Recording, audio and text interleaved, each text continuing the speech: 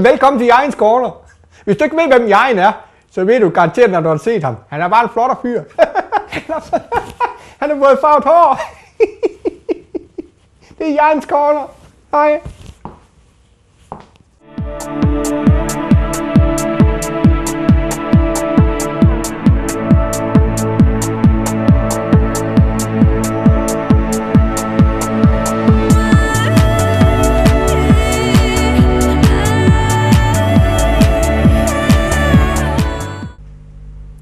Det fantastiske øjeblik starter lige netop nu til alle jer super seje seere, som sidder ude foran skærmen og kigger på mig i dette enestående øjeblik. Det her det er jo Jens Corner, det er jo, hvor jeg har sanger, skuespillere eller nogle kendte mennesker med i studiet, og traditionen tro, jamen det har jeg jo som sædvanligt. Jeg har jo nemlig en sangerinde i studiet med et øh, meget svært efternavn, kan man roligt sige. Hun hedder Nana Svartsluse, så velkommen til dig, Nana. Tak. Var det rigtigt sagt, eller hvad? Svartslose, tror jeg. Svartslose, ja. Men altså, ja. det er også det er et uh, lidt specielt uh, efternavn, og det vil jeg også spørge dig om. Hvor Ja. har du det efternavn fra? Det, er, det kommer fra min mors side. Jeg, øh, jeg hedder jo egentlig Nana Weintraube Svartslose, og øh, Mhm. det er jo nogle tysk klingende navne, men lige præcis Svartslose er kommet sådan ind på et eller andet tidspunkt i, øh, i familien. Og Ja. kan ikke rigtig finde ud af, at det må være en eller anden, der har fundet en eller anden, der havde det navn. Fordi Ja. det har ikke den vilde historie, faktisk. Men det er vel ikke kun mig, der har svært ved at udtale det, vel? Nej, Jamen, jeg har så, sandelig også selv haft svært ved det som barn. eller bare skulle stave det. Altså, og så kan du bedre bære over med mig. ja, og jeg har hørt det på rigtig mange, rigtig mange gode måder, Ja. det der navn. Ja, ja, Så- nemlig, ja. Men uh, Nana, du er jo en sangerinde, og jamen, altså, du har jo gang i, i rigtig mange, mange, mange ting, kan man roligt sige. Ja. Du er jo faktisk øh, ja, oprindelig fra Aarhus, kan det passe? Men Ja. du er vokset op i Silkeborg. Jeg er faktisk født i Herning. Var i Herning? Ja. Okay. Men du er i hvert fald vokset op i Silkeborg. Ja, det er jeg. Øh, stort set øh, det meste af dit øh, barndom. Ja. Ikke? Øh, var det to, to år, du var der, du kom til Silkeborg? Ja, jeg tror, jeg, altså, jeg kan jo ikke af gode grunde ikke huske Nej. det, men øh, sådan noget to og et halvt eller tre Mm. år eller sådan noget deromkring, mm. var jeg flyttet til Silkeborg. Ja. Så, Så, øh, og så er du jo sådan set lidt af en pige, som øh, jamen, er glad for dyr. Især heste. ja, Og det er jo faktisk lidt sjovt, fordi det, det er næsten alle piger jo. De er jo Ja. glade for heste. Jeg ved ikke, hvad det er med heste og piger. jeg ved det faktisk heller ikke. Jeg var, jeg var helt vildt bange for heste, da jeg var, da jeg var lille, og så havde jeg, fik jeg en legekammerat i folkeskolen, som, som godt kunne lide heste. Mm. Og jeg ville jo bare ikke vise, at jeg var bange for de der heste, og tog med. Og så blev jeg bare helt grebet af det, og, øh, og fandt en fantastisk underviser, som Frank Keilberg her fra Silkeborg, hvis man må Ja. lave reklame for ham. Ja. øh, som har været guld til at lade mig ride på nogle af hans heste og Mm. undervise mig. Så, så det er helt klart en ting fra Silkeborg, som jeg savner det rigtig tit faktisk. Jeg Ja. savner faktisk tit at komme ud og ride. Men Så du øh, er ikke sådan en af dem, der, der rider rundt på hesten den dag i dag så? Jeg gør det, når muligheden er der, og jeg kan mærke, at det er, øh, det er et af de der steder, hvor jeg kan slappe helt af i min hjerne, fordi at, øh, ah, så, Er det der, øh, du finder på sangen også? Når man sådan kommer riden på en hest, så, så kommer man lige i tanker om en eller anden sang, Åh, man det kunne vil- lave. Det ville være godt, ikke? Ja, det, det lyder sådan lidt drømmer, drømmeagtigt, Ja. ikke?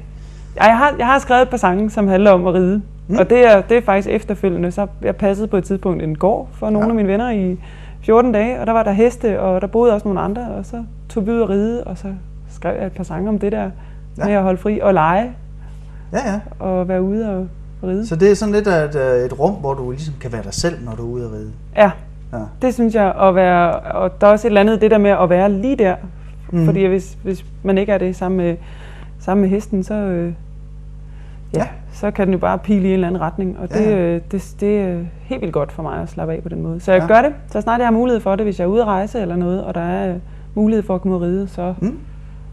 øj, så gør jeg det. Så gør du det. Ja, Men det det gør er jo også dejligt jo. Ja. Det er jo dejligt. Det, det, det værste er vel bare at passe hesten, for der er jo så meget øh, Det er også arbejde med hyggeligt. det. Nå, Det, det kan jeg også godt lide. Ja, Nå. det synes jeg også er dejligt. Ja.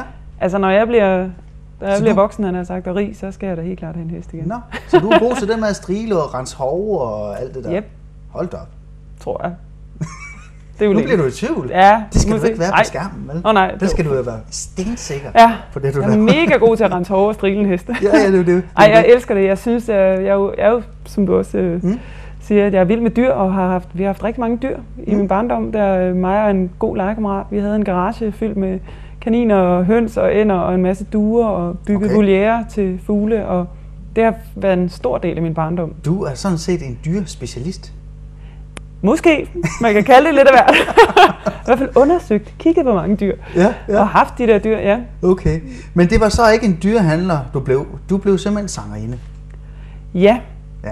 altså Og, det... Ja. og du, øh, du, du klarer dig rigtig godt øh, inden for branchen, må man sige, for du har gang i rigtig mange ting inden for sangkarrieren jo. Ja, Øhm, du har jo haft gang i din første plade, Ja. øh, som du indspillede i New York. ja. Og øh, det ser nok lidt bekendt ud for dig, ikke? Jo, jeg synes, der er... Øh, det er en dejlig udsigt Mm. at sidde op af her, det må man sige. Ja, du føler dig helt hjemme jo. Ikke kun dig, men også den her skærm. Ja. Ja, Og det var da du indspillede din første øh, CD. ja. Var det et øh, lille studie over i New York, eller var det en kæmpe stor studie? Det var et meget lille studie. Det var, øh, den er indspillet i et køkken, og... Øh, Ja, det skulle jeg nemlig til at sige, fordi øh, det, det lyder nemlig lidt mærkeligt, fordi jeg har researchet lidt på det, og der står, at du har både indspillet i et køkken, skab en brusekabine. Og det Ja. må jeg nok sige, i min tv-karriere, der er det første gang, jeg nogensinde har hørt om det. Ja, men så er det godt, du har mødt mig. Ej, jeg, øh, jamen, jeg indspillede den øh, i New York, og faktisk da jeg tog det over på den, lige på den tur, der, der havde jeg ikke sådan tænkt, at jeg skulle over og lave en plade. Men, øh, men Nej. det gik jeg i gang med, og jeg, jeg tror, det for mig har det været, havde ville stille enormt store krav til den første plade, jeg skulle lave med mit eget musik. Jeg synes, det var enormt svært at skulle starte på det projekt, fordi jeg havde store forventninger til mig selv, og ville jo gerne lave det så godt som muligt. Men så valgte jeg ligesom at gå den anden vej, og bare tænkte, det skal bare helt ned i, øh, i jordhøjde, også for mig selv, og øh, sætte mig med en guitar og indspille. Og det gjorde jeg så i det der køkken og, ja, og et skab. Og det var faktisk for at lydisolere. Så gik jeg ind i skabet og okay. havde en mikrofon med. Øh, og der sad en, øh, en fyr, jeg kender i New York, som så sad og trykkede på hans computer og optog. Ja. Og, øh, og så havde jeg lyttet, og så optog vi den der plade. I øh, en blanding af skab og øh, ja, i brugskabinen. Det kom lidt an på lyden. Ja. Også i Men forhold til, for at, at få øh, de forskellige lyde øh, i mikrofonen, at de har valgt de forskellige steder, eller hvad? Blandt andet, og så fordi der var en vej ude foran, at øh, jeg var nødt til at flytte mig lidt en gang imellem, fordi der kom biler, og hvis der så holdt en bil i lang tid ude foran, så skulle jeg stå et andet sted, fordi ja, det larmede jo. Så, øh, Ja. så den plade er meget øh, indspillet sådan lidt. Altså man må sige, det er helt nede på jorden, må man sige.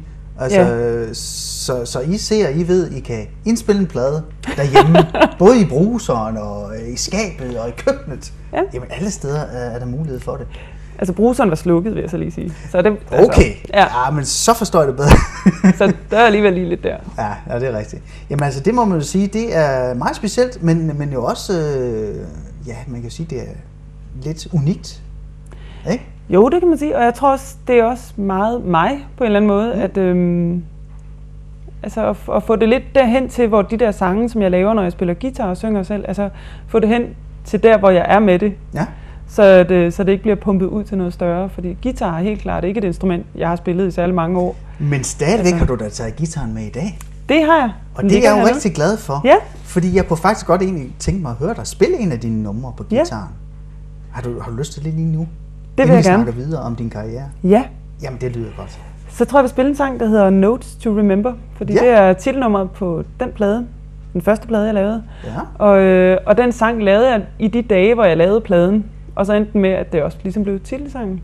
Og, Okay. det, øhm, og den lavede jeg på 10 minutter, tror jeg, den sang. 10 minutter. Og det, øh, det er en af de der sange, der ligesom bare fik lov til Jamen, at komme. både øh, melodien og tekst og alting. Ja, men det var, det var fordi, jeg havde fået et telefonopkald. Min far ringede, og, øh, inden jeg tog til New York, Ja. og sagde, du skal bare tage afsted. Ja. Og du skal bare vide, at øh, hvis der er noget, så er jeg, jeg er her. Men øh, jeg vil ikke være en kylling og sige, du skal ikke tage afsted. Du skal Nej, nej. bare tage afsted, men pas nu på dig selv. Så det er, det er lidt en sang om det, om at passe på sig selv, fordi Ja. det har jeg ikke altid været så god til. Så, øh, Nej. så det var lige sådan en far. Men, men han bakker det op, kan jeg i hvert fald høre. Ja, Det var da dejligt. jeg har nogle, nogle dejlige, dejlige forældre, en dejlig Ja. familie, som bakker mig op oh, i det, jeg laver. det er skønt. Ja. Men nu bliver det ekstra Så, skønt, for nu tager du nemlig Notes din guitar. Ja. og, og spiller nummeret for mig. Og alle de her tusindvis af seere, som skal lytte til nummeret Oh. lige netop i dette Det- enestående øjeblik. Skal det helt sikkert.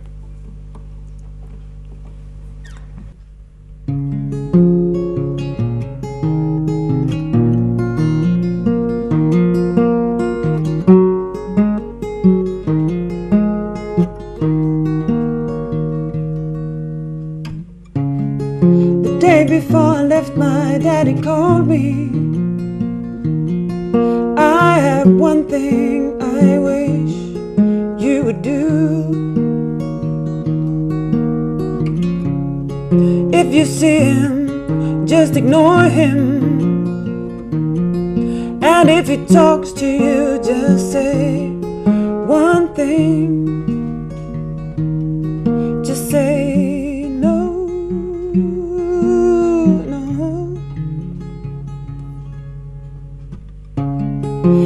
Told him that's what I do. Cause I learned my lesson by trying out something new. I will be here, I promise you, that he said. But it's time for me to let you go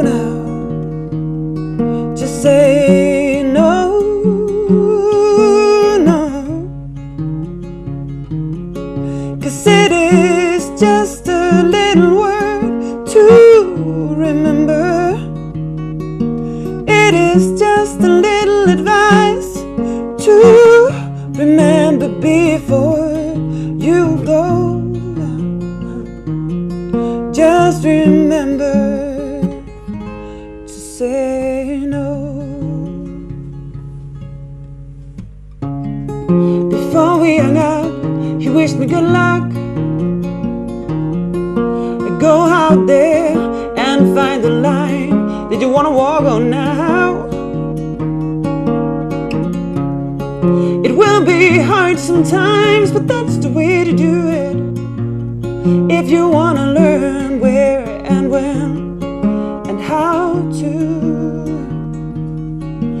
say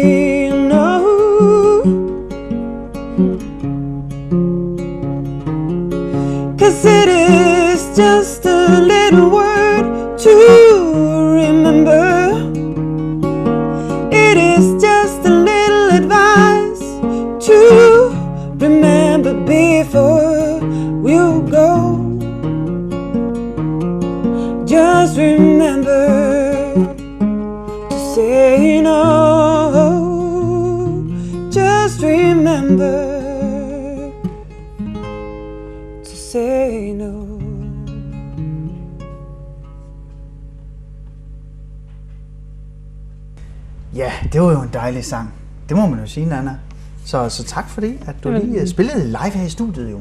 Ja. Øh, og det var jo som sagt en af de sange, som øh, du har indspillet både i bruseren og køkkenet Ja. øh, og øh, skabet. Ja. Jamen altså. Altså, det, det er lidt charmerende, synes jeg. Altså, Ja. at man kan indspille en sang, uanset hvor det er. Så øh, har man i hvert fald mulighed for det, hvis man brænder nok for det. Så skal det bare lykkes. Men du tog Ja. jo som sagt til, til New York, og du var faktisk ikke engang, som sagt, øh, in, hvad hedder det, øh, parat. Eller jo, du var parat, men du var ikke helt sikker på, at det var det, du ville, dengang du tog det over. Det var noget, der kom sådan lidt spontant, at du ville indspille den her, ikke? Jo, det var det. Altså, jeg havde været nogle, i New York nogle gange før, fordi øhm, jeg tog til New York sammen med min ven. Det var ikke den der guitar, en anden guitar. Okay. Og kunne øh, tre sange eller sådan noget. Mhm. Men jeg har, og jeg har ikke skrevet så mange sange på det tidspunkt, men tænkte, hvis at jeg skal have mod til at stille mig op og få spillet min egen ting, så skal jeg gøre det et sted, hvor jeg kan gøre det, og så kan jeg bare løbe min vej, hvis der er, at det går helt ned. Jeg havde lidt svært ved at overskride Du den der havde grænse. lidt den der angst over, hvad folk de skulle synes om Ja, det måske. tror jeg. Og så den der sådan janteloven over, nej, det skal Ja, ja, også være helt korrekt. Og så kom derover og så, øh, og så begynde at spille rundt omkring. Mhm. Øhm, og så tog jeg lidt frem og tilbage, og så tog jeg derover på en tur Ja. med min guitar. Og, øh, og så begyndte vi at indspille nogle sange, mig og så en, øh, en, en han er egentlig producer, som bor derovre. Ja. Øh, og så kom vi til at snakke om, at jamen, det kan da være, det er starten på en plade. Ja. Og så, øhm, så gik vi i gang med det. Ja. Og man kan jo sige, lydmæssigt og sådan noget, kan man jo godt høre, at den er optaget, som den er. Og jeg kan også godt høre bilen, der kører forbi udenfor en gang imellem. Okay. Eller, eller en radiator, der står og siger ja. den der lyd. Men, øhm, men det var helt vildt godt for mig at gøre det på den der måde. Og jeg kan Mm. også godt lide selv at høre musik, som bare bliver lidt umiddelbart. At det, Mhm. mm-hmm. at det, det øh, kommer lidt i, i menneskehøjde på en eller anden måde. Så at det, ikke ikke bliver- er sådan en topprofessionel studie lyd hele tiden, altid. Ja, der er altså det kan jeg også øh, godt lide. Ja, men, men her der er sådan Men, lidt øh, sjæl og, og, og der i den. I Ja. baggrunden, kan man sige. Ja, og det, det, var, det synes jeg var rigtig rart at, at lave den første plade på den Ja. måde. Ja. Øh, Men så begyndte du at spille lidt rundt over New York, siger Ja. du. Hvor, øh, hvordan fik du øh, de der kontakter i hus så? Fordi du var jo vel ukendt derovre jo. Fuldstændig, ja. Øh, det var noget med at tage rundt på forskellige åbne, åbne scener. Og øh, på min allerførste tur mødte jeg en rigtig god ven, der hedder Rick, som har været fantastisk til at tage mig med. Altså, mm. når han var rundt og spille, han bor lidt uden for New York, og øh, ja. skulle rundt og spille forskellige steder også uden for New York. Og så har han taget uh, den her danske pige med i hans øh, kæmpe gamle bil, og så har vi kørt rundt og spillet forskellige steder, og spillet også sammen, men mere bare øh, på skift, ja. på nogle mindre steder. Og blev introduceret for et fantastisk sted, også et stykke uden for New York, hvor der også er okay. en dejlig sangskriver-scene. Så det er, øh, det er helt klart noget med at komme ind, og så også at være åben selvfølgelig, og ture sætte sig op og spille, spille nogle sange, og lade mm. være med at sige, ej, det er vist ikke øh, godt nok. Det kom jeg til en enkelt gang, og så kom Rick det må du aldrig gøre igen. Nej, nej. Altså, det er den Fordi der... hvis du ikke selv tror på det, så kan man heller ikke forlange, at andre mennesker skal nej, tro lige på præcis. det. Og det altså. har været en fantastisk læring i New York, synes jeg faktisk. Ja. Og den der med at se, at jamen, hvis du vil noget, så må du gå op og gøre det. Og, så, mm. øh, og lad være med at forklare først, at nej, det er jo også, og det er jo ikke godt nok. Nej. Siger jeg nu. Hvor har det du sådan lidt øh, sådan inderst inde det der med, at du er bange for, at det ikke er godt nok? Øh, det tror jeg, jeg har haft i hvert fald i forhold til, at jeg først begynder at synge ret sent. Ja. Øhm, at jeg har været vant til at gemme mig bag et, øh, bag instrument. et instrument. Ja. ja. Så på den måde kan man sige, at der har jeg helt klart haft nogle ting med at skulle overvinde det der, mm. og lige pludselig, nu, ja. er det bare, øh, nu er det bare det her, nu er det bare der er instrumentet. Ja. frontfigur, og, og folk de stiger på dig. Ja. Men hvordan tog de så imod dig, New Yorkerne derovre, øh, når du spillede? Det har de taget rigtig godt imod.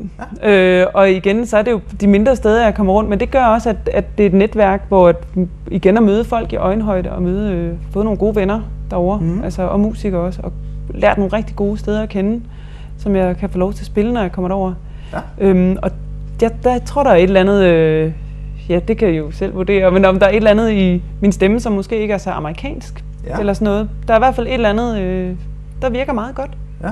Og det var det så typisk så et meget lille publikum, publikum, du spillede for, altså nogle få stykker, der sad og kiggede på, eller, eller var det sådan lidt flere publikum, der faktisk mm. kiggede på det, eller var det sådan lidt forskelligt? Det har været, lidt, det har været meget forskelligt, synes jeg faktisk. Ja. Øh, det har været, ja, det har været ret forskelligt, om, hvor jeg har spillet. Altså jeg har spillet på sådan en, øh, det var sådan en møde, der var for, øh, for nordiske øh, journalister, der skulle til New York. Så kom okay. jeg ned, og så skal man sige, så sad de der ligesom alle sammen på det der hotel og, og lyttede. Så man ja. kan sige, der vidste man ligesom, der sad et publikum.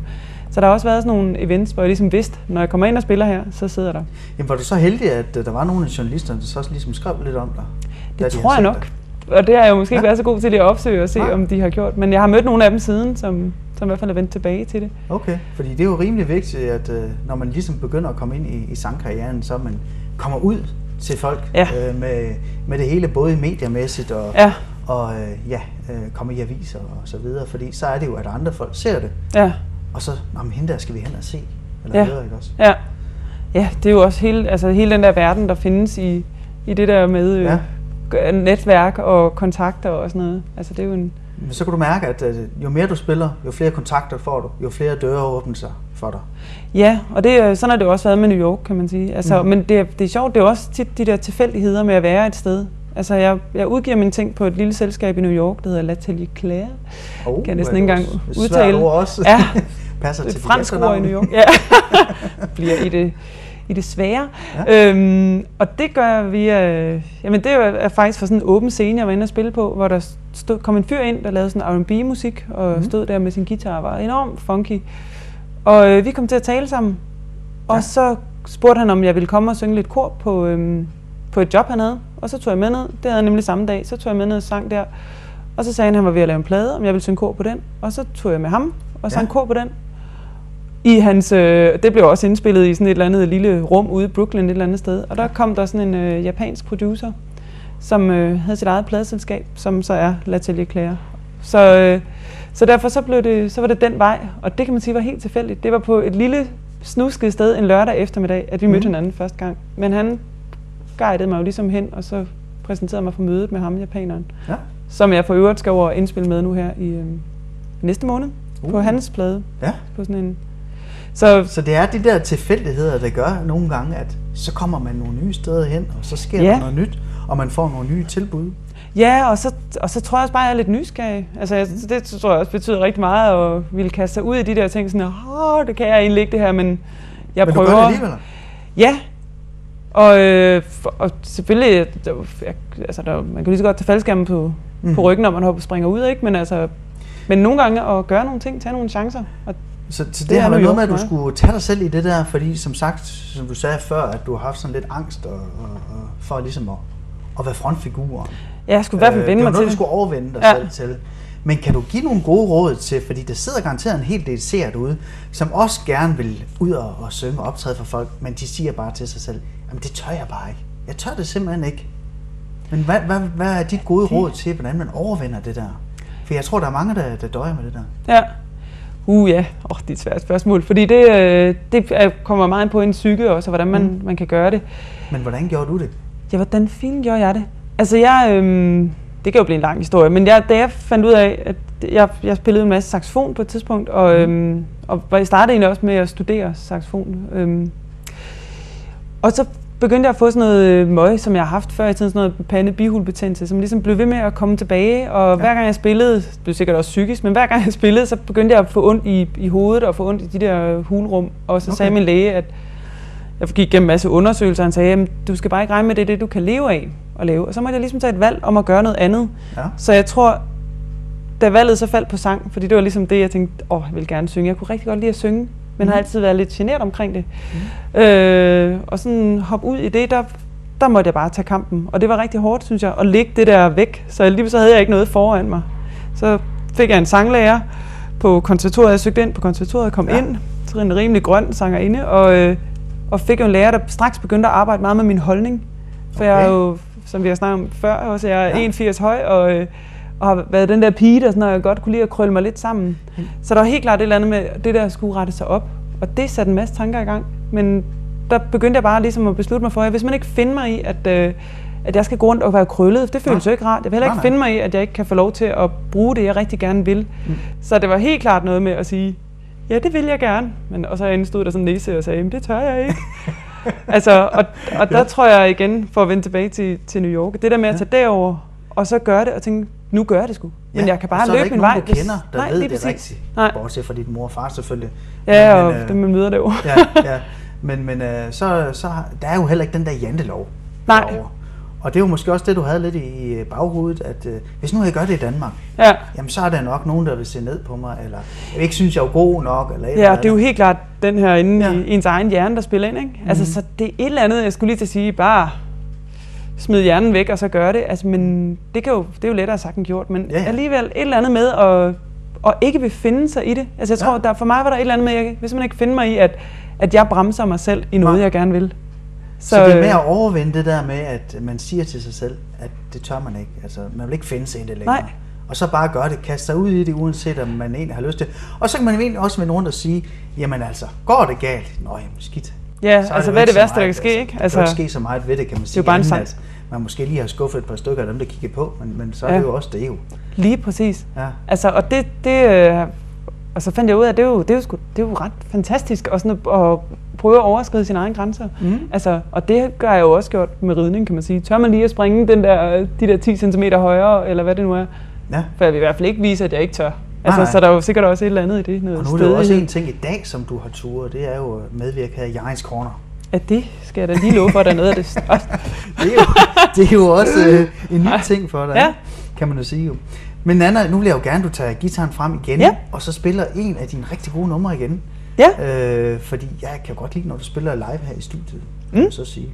Så øh, værsgo og tag din dyrebare guitar. min dyre guitar. Ja, Jamen det vil jeg gøre, og så vil jeg spille en sang, øh, som Ja. ja. også faktisk handler lidt om at overvinde, øh, overvinde ting, og det er også noget med, at jeg har været for eksempel bange for højder. ja, det har jeg også. Taget, ja, men det er jo også langt ned, ikke, hvis man står på Oh, jeg bjerg. har lige været oppe i en luftballon, så... Og det er rigtigt, det så jeg da godt. det er det. Afslørende det der netværk der. Ja, ja. Øhm, så skrev jeg en sang på en vandretur. Jeg har været på nogle vandreture ude øhm, i 3.800, eller nej, hvad hedder det? 3.000 meters above Ja, ja, city level 3.000 hedder den. meter, ja. 3.000, ja. ja tre kilometer. Øhm, som handler om at gå derud og bare koble hjernen fra og Mm. holde fri. Den det tror glæder jeg, mig til at høre. Ja. Værsgo. Den kommer her.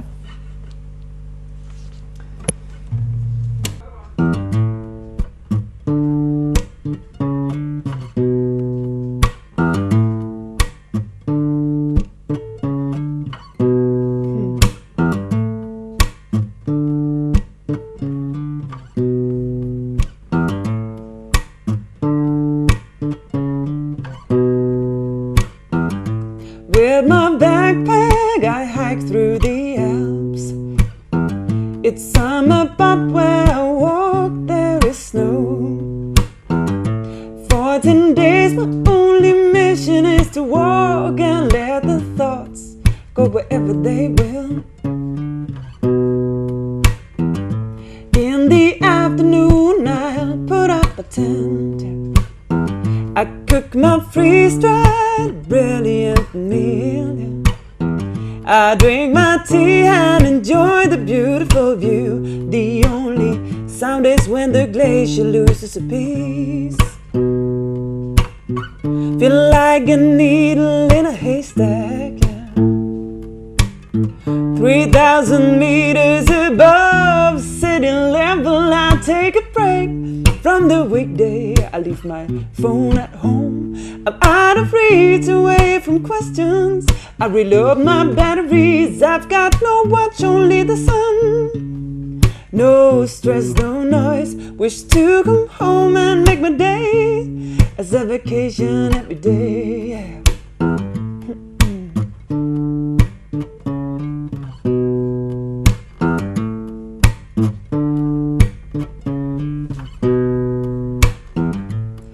As I walk back to the city,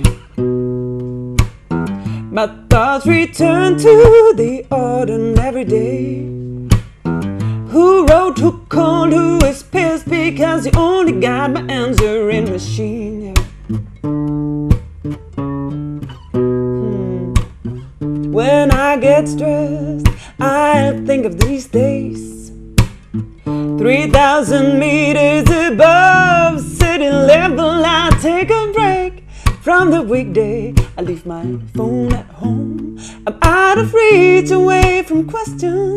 I reload my batteries. I've got no watch, only the sun. No stress, no noise. Wish to come home and make my day as a vacation every day.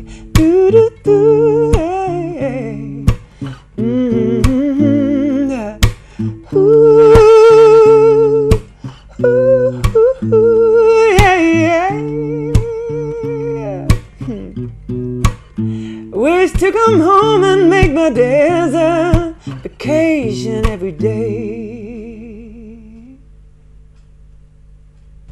Ja, men altså, jeg må jo sige, jeg elsker, når Nana hun spiller her i studiet, og jeg er da også sikker på, at alle jer derude foran skærmen, I også føler jer rigtig godt tilpas med det. Men Nana, det var jo rigtig dejligt at lige høre din øh, smukke sang. Mm. Øh, og du er jo god til at spille guitar, selvom du ikke har gjort det så mange år. Jo. Tak. Det brugte også kun én finger på den her sang, tror jeg. Ja, ja. Altså, ja. det lød godt alligevel jo. Men ved du hvad?